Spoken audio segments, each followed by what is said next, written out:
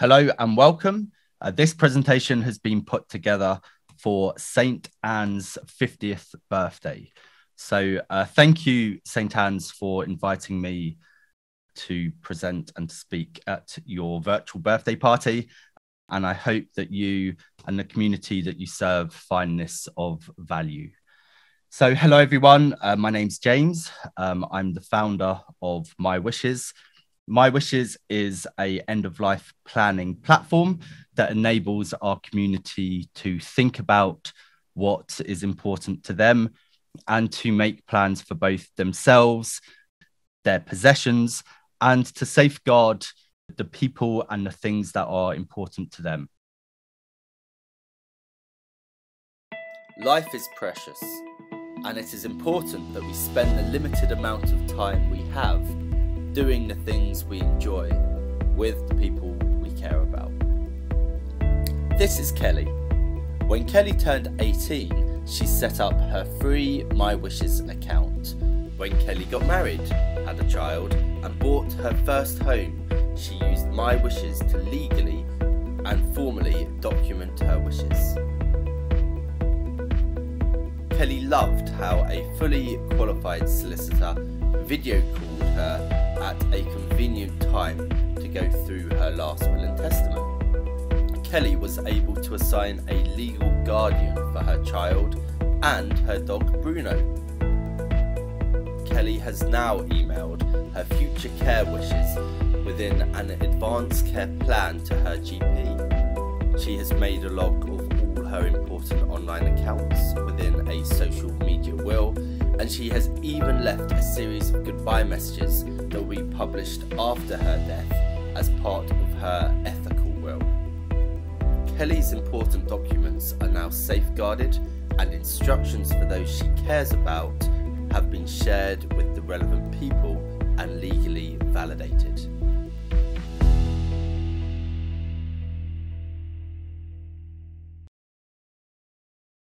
I launched a organization called the Digital Legacy Association back in 2015 uh, at Hospice UK's conference. And the Digital Legacy Association's mission is to highlight the importance of planning for death digitally. So, everything regarding our online accounts, so perhaps our Facebook accounts, shopping accounts, uh, cryptocurrency like Bitcoin, the photos, the videos, all of those digital assets that are saved in these plethora of different accounts. As part of the Digital Legacy Association's remit, uh, we run a conference every year called the Digital Legacy Conference. The Digital Legacy Conference is an international conference. It's taken place in London, New York, Berlin, and a number of other regions. If you're interested in, in the Digital Legacy Conference, I'll, I'll go on to speak about that later. Uh, I am a digital research fellow for uh, both Michael Sobell Hospice and Harlington Hospice. I'm a honorary design fellow at the Velindre Cancer Centre in Wales. I sit on the steering group for Compassionate Cymru, which, for those of you who are, who are familiar with uh, compassionate communities, it's an initiative by the Welsh Government to make Wales compassionate. And I also sit on the Law Society's Digital Assets Working Group. So my story, my dad died. I was transitioning from a Jason Donovan and Kylie Minogue fan to Guns N' Roses. And you can see here in the photo, I'm wearing my first ever Guns N' Roses shirt. Uh, certainly wouldn't ever be the last Guns N' Roses shirt I ever had. He died at a time when music was very important to me there was an aspect of uh, perhaps losing my my innocence at, at, that time with the death of my father and finding out about a more a darker world with music sung by Guns N' Roses. I have always been interested in in technology, but I think um, after my dad died, I did think about my funeral playlist. So I thought about my own funeral quite a lot and which songs I'd want to have played that funeral playlist has has kind of evolved over time, but music, especially the music that would be played at my funeral, was very important to me when I was kind of growing up as something that I would perhaps envisage in at some point in the future. I worked in the technology sector for a number of years. And I was inspired many years later uh, by Bob Monkhouse. But ultimately, I think that the two inspirations for my work was initially the impact of, of my father's death. And then many years later, once I was immersed within the kind of charity and technology sector, uh, coming across a video by, by Bob Monkhouse. Just when you thought it was safe to turn on your TV again, here I am. Gosh, four years already. Doesn't time fly? I wanted to die like my father, quietly in his sleep, not screaming, terrified like his passengers. The man's accident prone. I can still hear the screams. What killed me kills one man per hour in Britain. That's even more than my wife's cooking. Let's face it, as a comedian, I died many deaths. Prostate cancer, I don't recommend. I'd have paid good money to stay out of here. What's it worth to you? Bob is, you know, passing down his words of wisdom using the medium of TV. And I thought, well, if Bob can pass down his words of wisdom, now with the internet, we should all be able to do the same. I went about trying to explore how we can pass down our words of wisdom, not using TV commercials, because most of us do not have the ability to do so, but using mainstream communication technologies. I do spend a lot of time raising awareness around the importance of our digital lives and different ways in which we can plan and safeguard different parts of our digital footprint that one day will help inform our digital legacy. As many of you are aware, the way in which we communicate and consume information is changing. Uh, it took the telephone uh, 75 years for 60 million people to use the telephone. It took the internet four years. So within four years, 50 million people globally were, were using it. It took Facebook 3.5 years. Then, if we look at some of the innovations that have, have taken place more recently, it took Angry Birds Space 35 days for it to reach 50 million users. And it took Pokemon Go just 19 days to reach 50 million people. So, technology is enabling the mass adoption of online services. And these apps and services are increasing both in their influence in our day to day lives, but they're also having an influence in how we're remembered. Many of us would remember a life before the internet and before we had smartphones and before we perhaps done our shopping online. But we are living in a time of flux where a lot of the physical assets that we uh, have and own are migrating over to the digital side. Our money is becoming digitized and being encased within online only services and platforms. Our shopping is moving online. The way in which we watch videos and movies is now migrating from this physical realm to the digital realm. So instead of owning of the physical assets, quite often we might be streaming those assets and then the way in which we play is moving from the physical to the digital. So when I was at school, people played Pokemon in the physical realm, but now that's again migrating over to the digital realm. We've got this mass migration of services from the physical world to the digital world. It can create confusion, it can lead to loss, both uh, whilst we're alive, but also once we've died the digital legacy uh, survey asked the question How familiar are you with the term digital legacy? 11%, or nearly 12% rather, said extremely familiar. 36% was somewhat familiar. About, if you look at the chart, about 50% of people were familiar with, with the term. But ultimately, our digital legacy is what remains of us digitally once we die when we die, our digital footprint can help inform our digital legacy. It doesn't become our digital legacy, but it can help inform our digital legacy. And our digital legacy is becoming important for a number of reasons. My housemate, uh, Ben, died from uh, adult sudden death syndrome. And I don't have many photos of him printed. Most of the photos from university, etc., uh, were taken on digital devices and photos uploaded to different places. Ben's Facebook account is a important place where photos are stored, and I'm able to access those photos and remember Ben as and when I want to do so. Ben's digital legacy is important to, to me.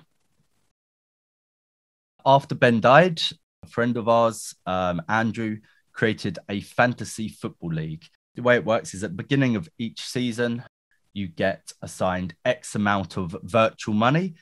And with that virtual money, you've got to purchase players who you think are going to play well in the Premiership that year. And depending on how well they play, uh, leads to an increased amount of points. So, for example, if I have Mo Salah in my team and he scores a hat trick, I get a lot of points for him playing within that game. If I have Wilfried Zaha and he dives and, and gets sent off, then I lose points. This this league was set up uh, by a friend, and this is of, of great importance to me.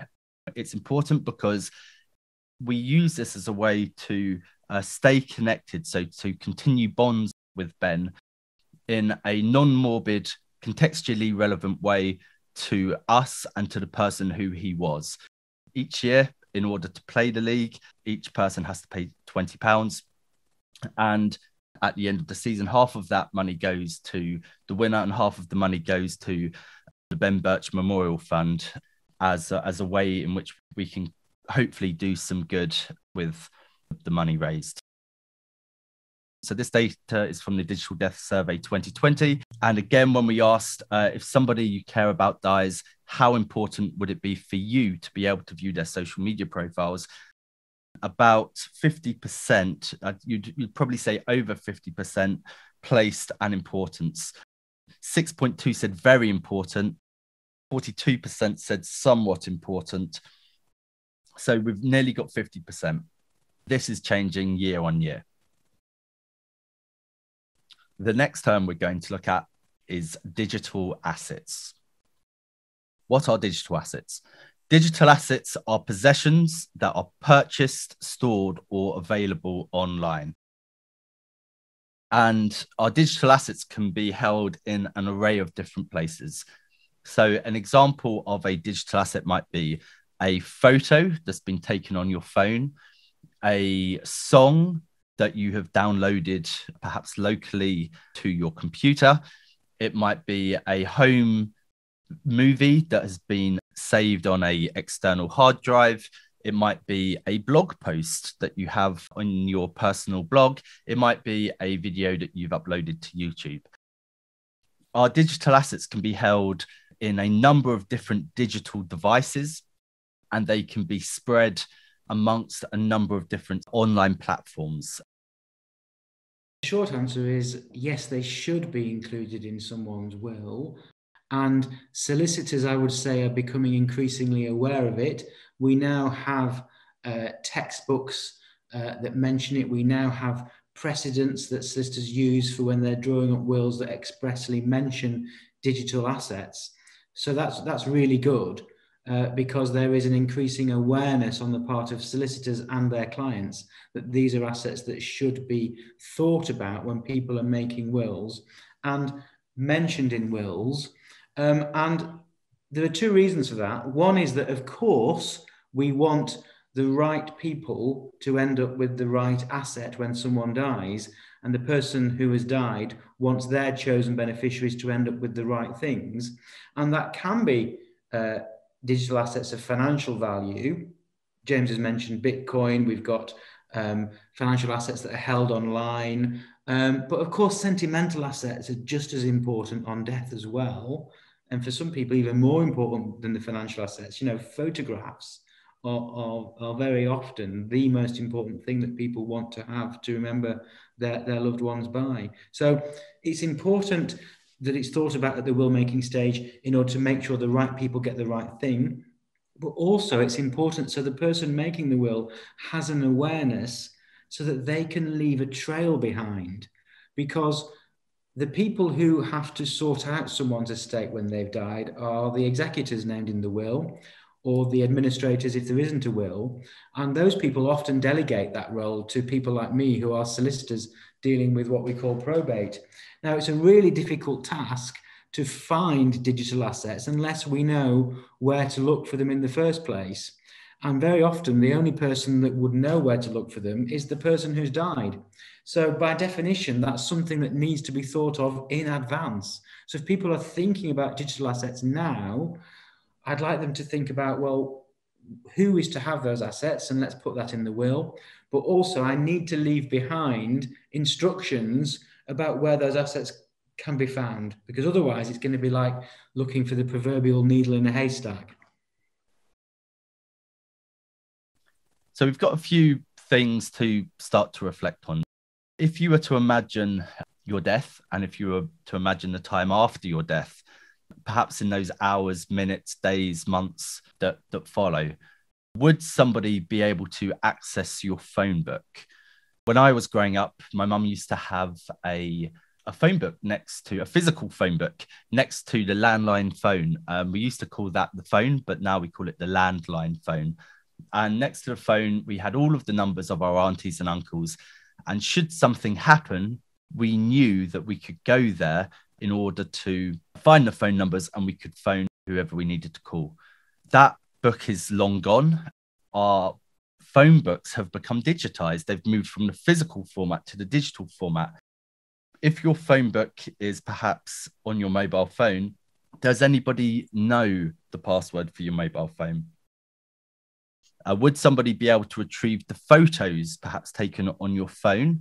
Uh, and if so, uh, would they also be able to retrieve photos that are saved on your computer or any other devices that you might have? Do they know about perhaps your old mobile phone having photos on it? Do they know that you've got an external hard drive or a different device with personal photos and perhaps videos on? Would somebody be able to read the messages the SMS messages, perhaps the WhatsApp messages? And would you want them to? How will somebody dealing with your online accounts know which photos and videos are of sentimental value to you? How will they know which ones to keep? If you've uploaded photos to places such as Instagram or Facebook, and if you've got photos in an array of different places, how do they know which ones to keep? How do they know which ones you really liked and which ones you'd want to be passed down and to help inform uh, your digital legacy? How will your favorite photos and videos be shared both online and offline? Photo storage, access, and curation. So, this is a, a quick snapshot. There's over 300 million photos uploaded to Facebook every day. Whereas before, we would take photos, perhaps go down to Boots or Snappy Snaps, I think it was called, get the the, the photos printed in a physical format. They would sit in a physical photo album and they would then be shared or copies would be made and passed amongst loved ones. With photos becoming increasingly digitized, photos aren't being printed like they used to be, and instead they reside in a digital format only. Instagram's a good example. So many people use Instagram to take photos, upload them there. And again, before we do upload photos that are, that are taken digitally, they sit on devices that might be password protected. So our physical assets are increasingly migrating over to become digital assets. And no matter what the media tell you, there is no such thing as a digital afterlife or a digital eternity, or you can live forever on the internet. That is simply not true. The only thing that is true is there's different aspects of digital longevity. The longevity of a of an asset, whether it's a physical asset or a digital asset, will uh, depend on a number of different factors it might depend on the sentimental or the monetary value that's placed on it and then other external factors as i say things such as fires floods wars etc things that are possibly out of out of uh, someone's control maybe a small child ripping a photo etc. There's lots of different things that that can change the longevity of of a of an asset. Now, when it comes to a digital asset, you have a element of control over its digital longevity, but you certainly don't have total control over its digital longevity. If you were a user of MySpace, you will remember it as being one of the early social networking sites. There was something called the MySpace generation, and bands, artists, individuals, etc., would create a MySpace. Uh, it was owned by Microsoft and it was bought out by a, couple of different individuals and companies since. But ultimately, people such as Britney Spears, the Spice Girls, etc., used MySpace to engage with uh, their fans and an audience, develop an audience. A few years ago, MySpace were updating their server. So they were moving the data from one location to another and they lost a lot of data. People who were perhaps expecting their MySpace account just to sit there and to reside there had that data removed from the records forever. I remember the first time I went to see Dr. John Troyer. He's a professor at Bath University and somebody who I've worked with on a number of occasions over the last few years. Probably the first time I ever saw him speak, John mentioned that the headstone is a technological innovation. It was really thought provoking. The, the humble headstone been used for millennia and uh, and beyond and technology is used and will continue to be used and there will always be a transitional periods where aspects are a taboo so whether it's embalming or remembering somebody online or having a memorial site our relationship with with these uh, different technological innovations will will change evolve and alter. Some of the things that is probably worth exploring very very quickly is our relationship with death is changing in relation to how we learn about health conditions and specific treatments that might be available.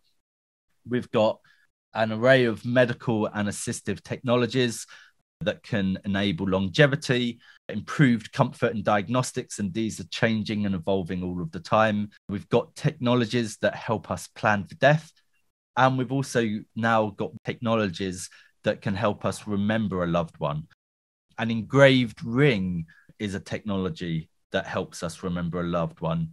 A electric needle that's used to have a memorial tattoo uses a technology to help us remember a loved one. And something that I've looked at and explored during the COVID pandemic is being able to say goodbye virtually. Saying goodbye can take many, many different forms. At the start of the pandemic, I wrote a piece for the BMJ, the British Medical Journal, about how Skype and other video calling technologies can be used for people to be able to say goodbyes. It was a, a very kind of quick framework that was peer reviewed by Dr. Mark Taubert.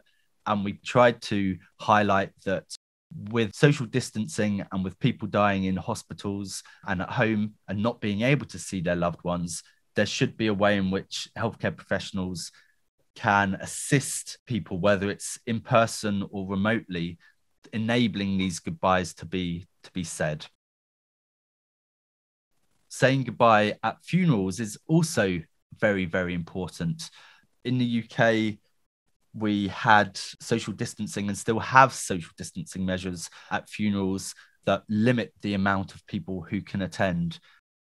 I wrote initially a tutorial. Um, at the time not many funeral directors were enabling their clients to have video streams, especially when it when they weren't taking place in crematoriums. And this was almost like a do-it-yourself tutorial for both the bereaved who might want to use Facebook or Zoom to stream uh, their loved one's funeral, but it could also be used as guidance for funeral directors who didn't have uh, video streaming partners in place, enabling people to be able to say goodbye virtually if they were unable to do so physically in, in, in the present. We found out that many funeral directors were not speaking about virtual funerals and video streaming with the bereaved and providing it as an option. We wrote a, a framework for funeral directors. To this date, there are no funeral director organizations in the UK that have virtual funerals included within their code of practice or uh, within their duty of care. It's something that the Digital Legacy Association continues to highlight and flag. Many funeral directors do provide video streaming for their clients. The Digital Legacy Association, however, argues that funeral streaming and virtual funerals is very, very important now, and it should be included within best practice guides. So we've created a very, very simple best practice set of guidance for funeral directors to help empower them to provide virtual funerals for bereaved families. Influencing your own legacy. Before we move on to the practical aspects and step by step guides as to how you can be empowered to make plans for yourself, your loved ones, and your assets, I thought it'd be worth putting together a few bullet points to think about your own circumstance and just to lead to a little bit of self reflection. The things that you do during the course of your life will ultimately be your legacy. It will be your legacy and it will inform your digital legacy. The two are not mutually exclusive of one another. If you're known as a funny and happy person in in life uh, that will inform your legacy and it will also inform your your digital legacy carrying out altruistic tasks so these include will writing advanced care planning funeral planning etc they themselves can all have a positive influence on your legacy by making plans and trying to relieve the impact of, of your death on your loved ones, carrying out these altruistic tasks can again help enhance your own legacy.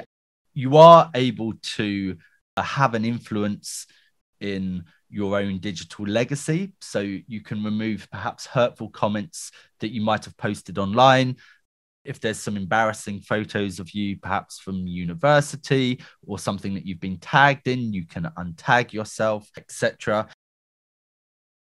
So you can influence your digital footprint when you're alive. And as mentioned earlier, your digital footprint will eventually inform your digital legacy. If you wouldn't let somebody curate your printed photos and your photo albums, why would you let somebody else curate your digital photo albums and your online content? There's an array of different organizations will say, oh, we can manage your online accounts, we can do this. But when you dive into what's actually in those online accounts from both a sentimental aspect, but then also a monetary aspect, the best person to look after your digital estate is you. You need to be empowered. You need to get your home in order. If you don't and you leave it to somebody else, you don't know what will be kept and what will be thrown away, what will have longevity and what will be destroyed everybody needs to take ownership of their physical lives and their digital lives as well. This brings us on to uh, the next section of the presentation, which is My Wishes. My Wishes' mission is to utilize technology in order to help normalize end of life planning. It's a free to use platform that helps demystify care planning and end of life planning. It makes it free, it makes it accessible, it's a technology for good innovation and it enables our users to make plans for themselves and their loved ones from from anywhere. It's an online platform. You create the content, you then download it, print it, share it, and it's done. And once you've carried out these tasks, you can do the most important thing, which is enjoying life. When it comes to making plans, the platform allows you to write your will, uh, document your funeral wishes, state what you'd want to happen in the future regarding your health and social care within an advanced care plan. If you are in a wheelchair and you've had a postural care assessment, it enables postural care planning. if you use digital accounts such as Facebook, Twitter, Amazon, all of these different online accounts, you can document what you want to happen within a social media will, which is also sometimes called a digital will. You can leave goodbye messages. So, in a similar way to a Victorian memory box, you're able to say goodbye to your loved ones in your own time, in your own way digitally. There's a range of different tutorials and ways in which we improve people's learnings through different publications and resources. And then there's also different bits of information and, and signposting. We're now going to go through and do a live demo of My Wishes, going through each of the sections step by step. Once you've created an account on My Wishes, you will land initially in the My Profile section, and then you will go through to the dashboard. On the dashboard, there's a step by step tutorial, there's resources, there's a dynamic feed of uh, relevant news that's came in from my wishes, and there's a number of different tutorials published.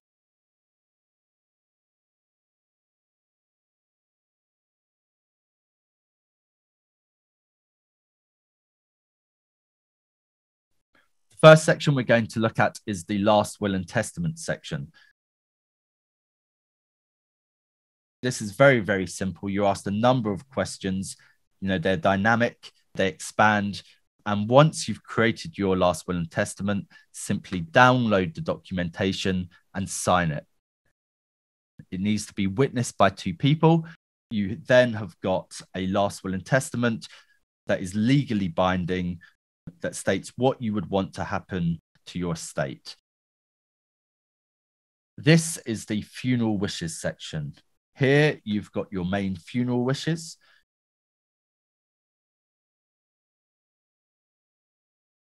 You've got your funeral playlists. So if there's songs that you want to have played at your funeral,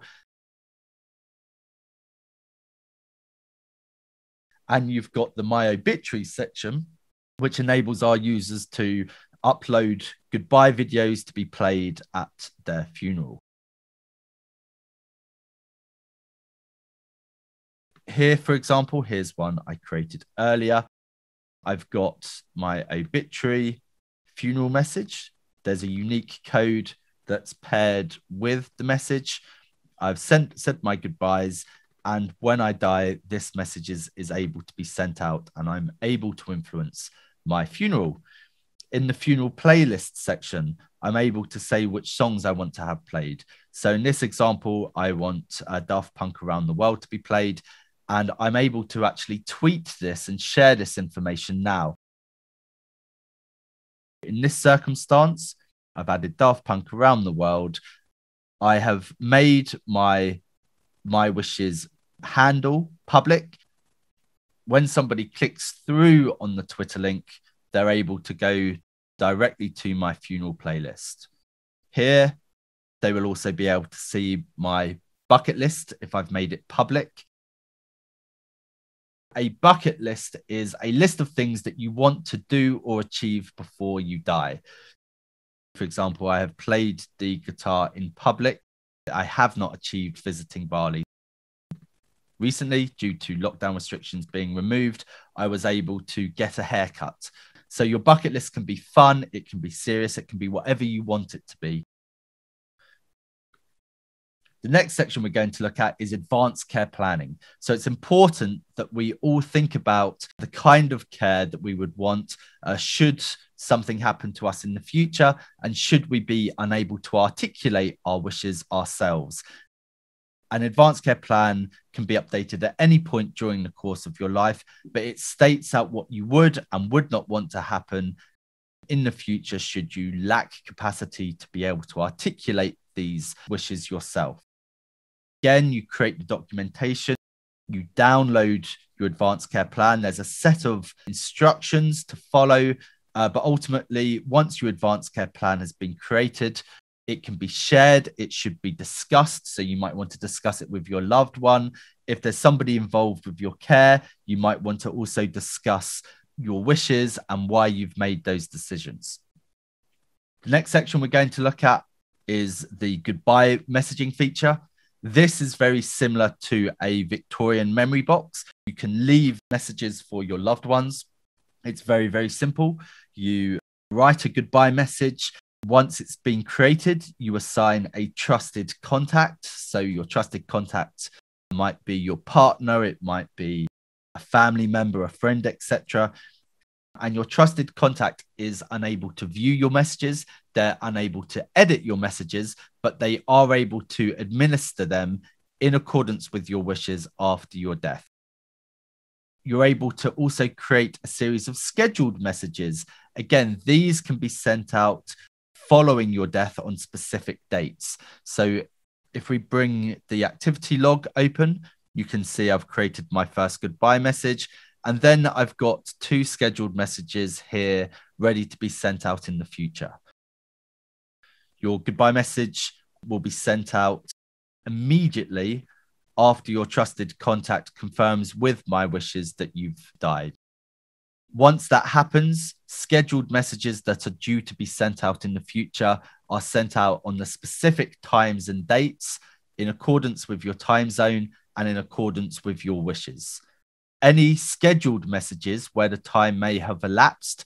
So, if, for example, I'd created um, a video, let's say that was, or a message that was happy birthday, Ed, and it was due to have been sent out three weeks ago, these are sent out once a week until that backlog has been has been cleared so messages are sent out in accordance with our wishes on the scheduled times and dates unless they're backlogged and then they're sent out once a week to ensure that messages are not lost. The next section we're going to look at is the online account. So, this is really the social media will or the digital will section. You state what you want to happen to each one of your online accounts. They're broken down into verticals. So you've got your media accounts, you've got your online shopping accounts, financial accounts, etc. When you've got accounts that falls outside of these verticals, you can add it into the my other account section. So if I scan across here to my other account section, you'll see that I've got a PlayStation account and I've got Bitcoin held in Coinbase. Once again, my digital will, as with the funeral wishes, the last will and testament, and the advanced care plan, is downloaded. None of this information is of any use or relevance if it's behind a password that nobody knows. Once it's downloaded, of course, sign the documentation. Some of your wishes might be legally binding, some of them might not. It will be dependent on each of the platforms that you use. But by creating a log, by creating a document, it will provide guidance for both your loved ones and it will also provide clarity to any service providers and platforms as to what your wishes were. There's a whole learn section on my wishes learn.mywishes.co.uk here you'll find a range of different tutorials, such as the one mentioned earlier about how you can arrange a funeral. And we also explore how different platforms can be used for remembrance. This is a banner I have both on my My Wishes profile, but also in Facebook. Click on the download button, and this could be used as part of my digital legacy because I have obviously vetted this photo. I've included it on Facebook. I've made it public. For me, I would be happy for this to be used. So we highlight all of these different things within the Learn section.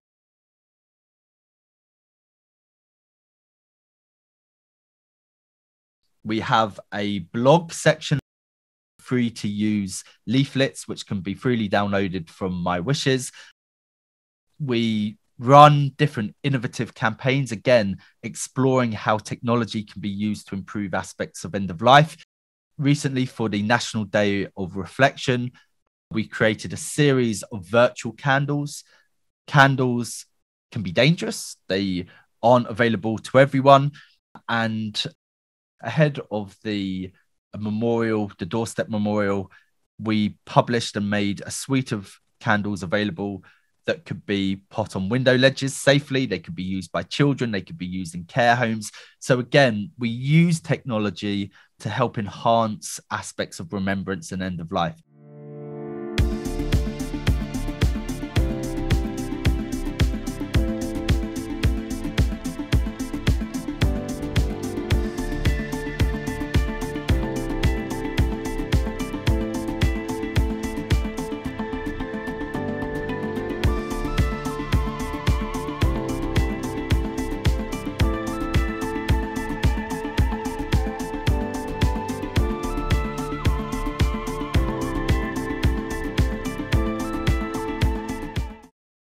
Final things to think about. Think about the things that matter to you. What plans do you need to put in place to ensure that your wishes are met and that they are adhered to? How will you ensure that aspects of your digital life will be accessed or deleted upon your death? And who do you need to talk with? Everyone has a digital component to their lives. And I think as as a consultant, see a certain number of people I work within the team.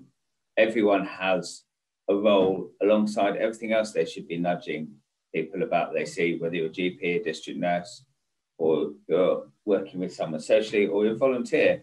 We all have a role to prompt people to try and plan ahead for these things. I think one of the things I want to promote and more normalize is normalizing the fact we're all mortal, normalize the fact you need to plan ahead, and it's, it's my current mantra of you plan and forget. And so digital planning is as important as any other part of the planning. You file and forget, you put it away, you make it, you make it available, you make it foolproof. It's going to be stored online. So let's be fair. You're going to store things online and instructions online, you need to make provision to have access to all the things you store online. So as a group of professionals, and the broader you get, we all have a role to play and we should all be promoting it and normalizing it as a thing we should all do. If you want to learn more, mywishes.co.uk website, there's information. On the Digital Legacy Association site, there's more information. There's links to free resources, including a framework, a conversations framework,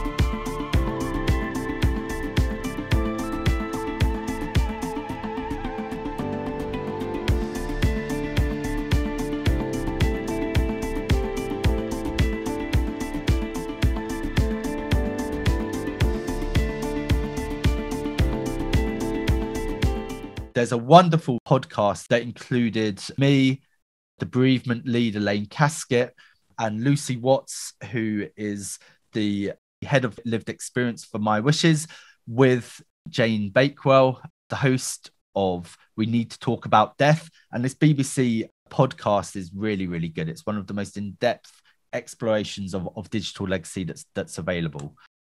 The Digital Legacy Conference takes place every year. This year, it's taking place as part of the European Association of Palliative Care World Congress for the second time. Uh, it's free to attend if you have an EAPC pass. If not, it's £30 via the Digital Legacy Conference website. So please, if this is something that's of interest, we're going to be streaming it live from Michael Sobell Hospice with contributors from all over the world. So if you're able to attend, please, please do so we run training courses. So if you want to explore digital legacy in more depth, whether you're a healthcare professional, social care professional, legal professional, funeral professional, please do get in touch.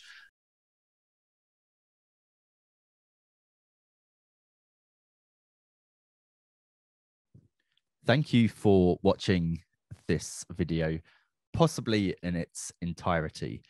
And I just thought it would be worth closing with a few kind of things to take away. So, first of all, perhaps sit in silence, reflect, think about all of the different online accounts that you use, what media and what content is contained with each, and how you might go about starting to make plans for them. Learn about the different platforms that you use. So learn about the what you can and what you cannot do within each, and that will be dependent both on uh, UK law, but it will also be dependent on the terms of service of each of those platforms. Uh, think about how you might share passwords or grant access to your own accounts to somebody else. There isn't a right or wrong way of doing this. It's dependent on each person, each platform they use, uh, their relationship with their next of kin or their loved ones, and then also their their relationship with technology. Once you're in a position and once you've thought about these different aspects, document your wishes within a digital will. And as we mentioned earlier, sometimes that's also referred to as a social media will. That will provide um, awareness about the different accounts that you own uh, to your next of kin and what your preferences are for for each and hopefully that will help to both reduce the stress and the anxiety following your death on the person who is dealing with your digital estate. And it will also ensure that data photos videos memories are not lost. Uh, delete photos um, and videos perhaps of you that you wouldn't want to remain online after you've died and you wouldn't want to uh, inform your digital legacy. Um, as well as carrying out this task you might want to delete any messages that you might have posted uh, on social media sites um, if you've got perhaps an old blog that you no longer use and again you wouldn't want to inform your part well you wouldn't want it to inform your digital legacy again consider deleting that um, so that it, it's no longer live online. Uh, if you haven't written a last will and testament uh, you should uh, everybody over the age of 18 in the uk should write a last will and testament within it include your digital assets of a monetary value um, and also some of the uh, digital assets that might be of a sentimental value as well. So it's important that um, no matter what you know we've got, you know whether it's a lot of money or a lot of assets or something very very small, um, just by documenting what is important to us within a last will and testament, again legally it can ensure that your wishes are adhered to. Think about printing your favorite photos. So we're creating um, more and more photos as we've kind of explored uh, over the last 50 minutes or so. And by printing it out, the longevity of that photo um, may be increased dramatically.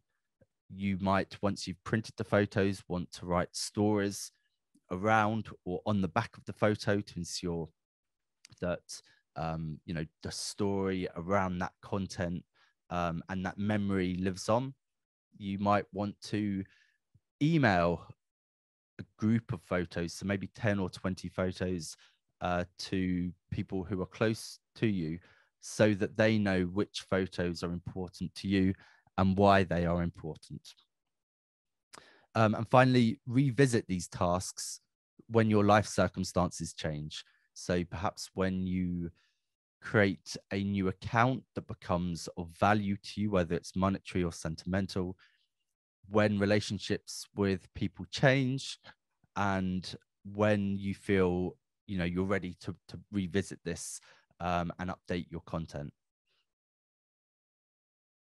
happy birthday once again, St. Ann's Hospice.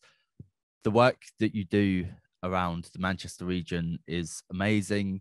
Um, I'm delighted to have been and honoured to have been asked to contribute. I hope that you and your wonderful community have found it of value And I look forward to seeing you all back in person very, very soon. Take care. Bye bye.